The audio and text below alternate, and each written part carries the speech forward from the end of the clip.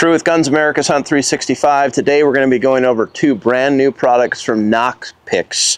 A uh, handheld and a rifle scope with features you're not going to want to miss.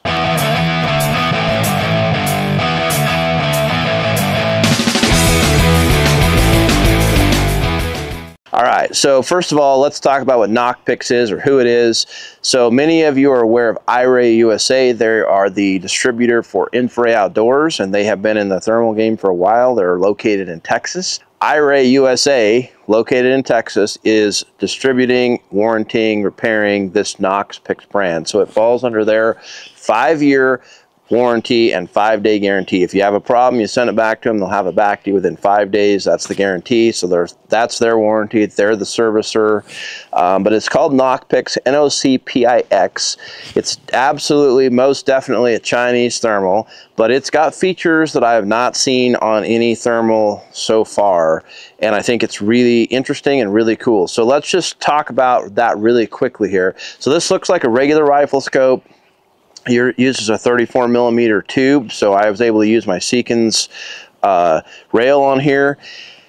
And the first thing that it's got here is right here, this is actually an optical zoom. I know that sounds crazy, but that's what it is. Instead of it also has digital zoom, but instead of digitally zooming in where the, it gets pixelated and you're zooming in on pixels, this actually magnifies inside the eyepiece, and as you rotate this over, it zooms in on the eyepiece, kind of like what a clip-on does with your regular like 1 to 6 LPVO.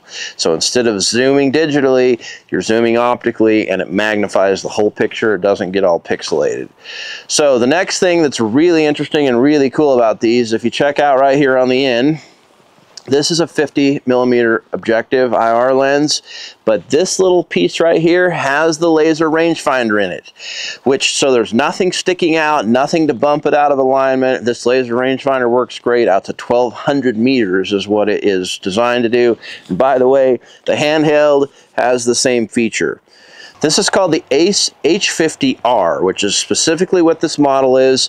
And if you're watching this, it's available now. So the specs are this, 640 by 512, so it's a 640 sensor. The millikelvin, which is how sensitive the sensor is, is a net 15 or less, which is insane. That is so sensitive. So you're going to see a lot of detail, has a detection range of 2,600 meters. Uh, this has full ballistics in it, so you connect it to the Nocpix app on your phone, and you put in your BC, your velocity, your temperature, your altitude, your height over your scope over bore height, those numbers, and then when you range, this automatically drops down and gives you the dope. It actually moves your reticle down and allows you to shoot without having to even think. So it's really easy to use. This is your power button. You hold it down for a second, it turns on. Right here is your camera and video button. So if you want to hold this down, it'll turn on and start recording. By the way, this also has recoil activated video. So if you forget to do that, when you fire that shot, it goes back a few seconds before your shot and then records a few seconds after. So you're never going to miss your shot, which is a feature that I absolutely love. And then over on this side, which is really easy to reach with your left hand while you're on the gun, is your rangefinder. So you can hold it down for continuous and it'll just continue to scan, or you do a single. Single does the ballistic calculation, gives you the crosshair where it belongs. This has digital zoom as well, so you can actually just turn this and it turns the digital zoom in and out. It has uh, multiple color palettes, it has multiple reticle options. Oh, the other really cool thing, it has an internal battery that you charge via USB-C and to keep this IP67, you just simply turn this, opens up the port, plug in your USB cable. You can use it while you drive down the road and charge it up. And then to just seal it from dust and stuff, you close that up. No more cap to take off that you could potentially lose. And then here's the other really cool part. Never run out of battery life ever again. This uses an 18650 battery. You can hot swap it out. So you don't even have to turn the scope off because of the internal battery.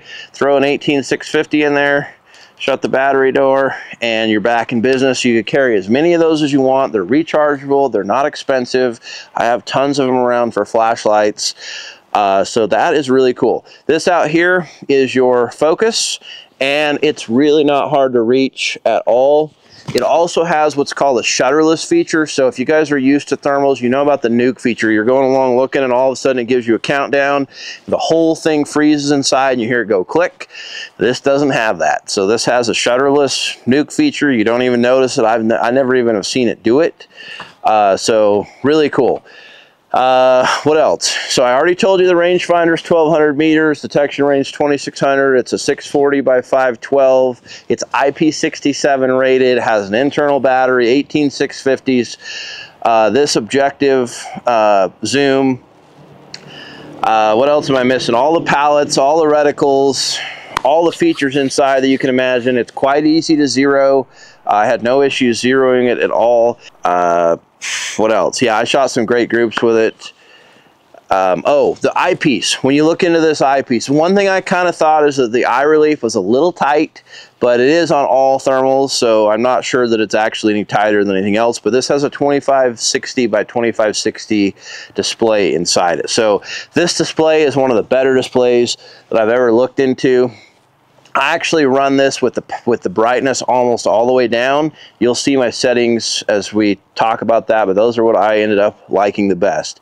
So that's the scope. That's the uh, that's the Ace H50R. So this is the Vista H50R and it's the handheld and it's basically the same thing. So has the rangefinder in it and uh, the, this is your focus right here. Hold down the power button. This does not have the optical zoom, but it does have the 2560 by 2560 uh, eyepiece or objective that you look into. It's really nice. It's really easy on your eye. Oh, they both also have the feature where you can change the color of, of the screen to be kind of like a sepia, so it's not so bright white. It's not nearly as hard on your vision at night, which I actually just keep it on that all the time. It's a switch to turn it on and off, uh, along with all of the color palettes. Uh, has so so. Oh, here's what I did not tell you. This is a base magnification of three, which is absolutely my favorite base magnification gives you the ability to shoot close or long. It still has a decent field of view. And then obviously use the zoom, the digital zoom or whatever, and you can really reach out there a long ways. This has a base magnification of four. So to put that in perspective, I actually think that it outperforms a 1020 handheld I have at distance by quite a lot. Like I can see stuff with this that I cannot see with a 1020 handheld because of the base magnification being four power, even though it's a 640. Now the downside or the trade-off to that is, is that four power limits your field of view. Sometimes I wonder if I'm seeing stuff that's close, but this is the best handheld I've used at finding things a long ways away, and man, can you see stuff a long ways away with this. So I want to say the detection range on this is supposed to be 2,600 uh, meters as well, but uh, this has kind of become my favorite handheld. I was out wolf hunting in the daylight uh, not too long ago and we were glassing we are up on a big ridge the sun was up we'd been up since like right at, at daylight sun was up and I was glassing out a big 99 power Kowa spotting scope binoculars a Sig Kilo 10k rangefinder and um, I decided, hey, let's pull this thermal out and just look around. So it's bright daylight. I'm up in the mountains. I start looking, and far, far away, and I'll tell you how far away it was in a second. In the dark timber, I see a white spot, and I'm like, huh, there's something over there. So I pull up the binoculars, can't see it, get out the spotting scope, figure out where it's at. Mule deer doe at like 3,650 yards away. That's two miles in the broad daylight, and I could see it with this thermal. So I couldn't tell that it was a deer, but I knew it was an animal. I could see it moving. Uh, pretty insane the kind of range that uh, this stuff's giving you. So, so also on this Vista H50R, the R stands for rangefinder. This has a swappable battery, and this battery life is like 11 hours. It is legit awesome. One thing I really like about this when you're running it, all you have to do is touch the power button and it just shuts off the screen so the battery even lasts longer. But you can hot swap, you can pop this battery out. It comes with two 11 hour batteries. So it gets you a really long use and you can also charge it on the go with the USB-C right here. And I love the fact that it has an LED so you know when it's charging. You can actually tell but I have really, really liked this handheld. Okay, I'm gonna run through a couple things really quick inside the scope and make sure I didn't forget anything that I wanted to tell you about. So let me just, uh, I got to zoom out on this a little bit. So it has sound. Obviously, you can turn the microphone feature on and off. It has Wi-Fi. You can connect it to your phone. Uh, this is how you zero it and get into the main menu is you just simply short touch this and it gives you the quick menu which allows you to run through. When you just hit the quick menu, it allows you to switch through all the color palettes. It allows you to change the brightness, the contrast, the detail. And I actually don't like the detail or the sharpness turned up too, bad, too much. I like it down around four or five. It gives you your battery display in there. If you long press this, it bumps you into the main menu, which the first thing is that gives you is ultra clear mode, has reticles that you can choose from. Uh, gives you your zeroing profiles and it has multiple zeroing profiles. So obviously I'm on A and I don't want to mess that up because that's what I'm zeroed at. But it gives you reticle color options. It gives you reticle types and um, I didn't, yeah, so there's a whole bunch of them. So I'm on number seven right now, but as you can see, there's a bunch of different reticle types in here. I'm going back to seven because that's what I like.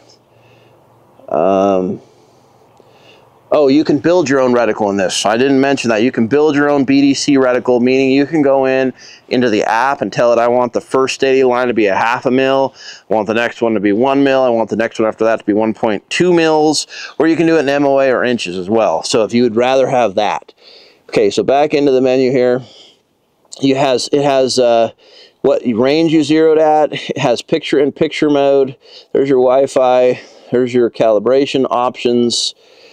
And uh, let's see here. It's got a motion sensor that will shut things off. It's got gallery. So the other night I shot a coyote at uh, a couple hundred yards and I wandered around in the dark for like 20 minutes looking for it. Could not find it anywhere. Came back, set the gun up, turned, opened this up, went into the menu and watched where it was at, lined up some stuff and went out and walked out to where the coyote was. But being able to go back and watch it again was huge. So um, there's your ballistic calculation. So you can see, I'll show you what I'm shooting. I think. Let's see here. Oh, this is your image hue. Oh, there we go. Okay, I wasn't pushing the button. All right, so this is kind of the more bluish color, as you can see here. And I don't love this it's hard on your eyes. But this is what I like it on is that more sepia. let me get back here to the ballistic calculation. So you can see here, you can, you can turn that on right there. If I go right here, I can see what the profile for the ballistics I have named is. I can also scroll, oops, I don't want to do that. I want to stay there. So I'm shooting a Creedmoor, uh, 22 Creedmoor with an 88 grain ELDM. And if I scroll down to the parameter settings, it will actually show me all my ballistics in here, as you can see, which is really cool that it shows you all that. So, gives me an option of changing those out, should I want to, which I do not. Uh, recoil activated video is on, puts a standby mode option, the microphone on, pixels, different settings, uh, yards, meters, dates, times, all that kind of stuff. So pretty easy to run through the menu, as you can see. And you just do it by pushing this button and twisting this knob. So really quite simple and easy to work through this. Um, I think that pretty much covers it. Let us know in the comments what you think but I'm pretty impressed. This was going to be, as far as 640s go, this is probably my new favorite 640 uh, thermal rifle scope. And depending on what I'm doing, this Vista might be my new favorite handheld. So if you're trying to drive down the road and look out the window, four power is too much. It's not going to work for that. But if you're trying to see like any little detail, things far away, like we do out here in the West, man, this thing is the bomb. So good battery life, uh, good warranty go check out Nocpix. So the other thing I want to tell you before we quit this video is, is that there Nocpix or iRay USA is launching two other products besides these. One of them is a combination handheld scope that's made and designed to be in your pocket or in your hand and then clipped onto your scope. And then there's also um, just sort of a lower end thermal optic. In this, in this ACE, sorry, in this, uh, yeah, in the A scopes, this is the 640. Supposedly, eventually, there's going to be a 1280 version of this that will be a two power magnification, which I'm and a 60 millimeter objective, which I'm stoked for. That's not been launched yet. Apparently it's coming at some point though. So yeah, I think that pretty much covers it. Yeah, let us know in the comments what you think. Please make sure you like, subscribe, and share, and we will see you on the next video.